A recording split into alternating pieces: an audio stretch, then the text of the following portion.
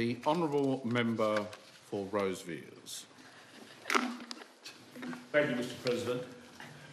Um, member for Elwick, have you been sneak, having a sneak preview of my speeches? Probably. because, because today I'm going to talk about, um, about the subject you're on about, but not, not specifically about your group from uh, Newtown High School. But uh, I'd like to just highlight that our democratic system is weaker than perhaps it should be, Mr President, because of uh, perhaps a widespread ignorance of the electoral and parliamentary processes. And this is not helped, of course, by the way that politics is portrayed in the media, and even less so because of a glaring gap in the way most education syllabuses around Australia are enforced. Entering adulthood without an understanding of our political system is seldom corrected. People lose interest in how politics works and are unlikely to take the time to learn. The time to give Australians an understanding is at school about the role of Parliament. I want to commend the work that's being done by our education officers, uh, one of whom is here uh, now, uh, Orly Chariton, and also uh, Kimbra McCormick, who do a splendid job. Now, on checking for this speech, I asked the numbers that uh, they actually have coming through Parliament House, and we've taken the past 12 months. So, students visiting on a sitting day to watch the debate, 1,191. Students visiting on a non-sitting day, either to tour or do the House of Assembly role play, 3,478. So, in fact, 4,700 students in total, and that doesn't include our youth parliament or uh, the students that they've reached during their school outreach program. So that's a, a, just a wealth of uh, connection to younger, younger people. So our education officers are to be congratulated. But uh, what I'm going to do is introduce uh, Hugh Magnus, who is uh, in the chamber here today.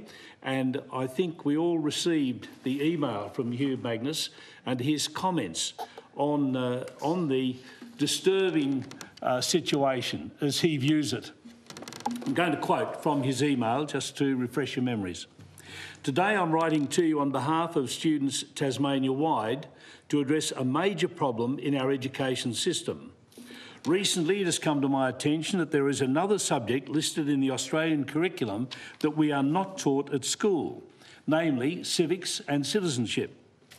Civics and citizenship is the subject that deals with educating us about how our country is run. This includes how laws are made and passed, how people are elected to Parliament, the role of the High Court, the responsibilities of the Parliament of Australia, and the functions of different systems of government. The decision made by the Department of Education to not make civics and citizenship a compulsory subject for years 9 and 10 is so extraordinarily problematic, one wonders what government in its right mind would do such a thing. To take away the next generation's understanding of how our country works shows a serious lack of responsibility on your part, our part.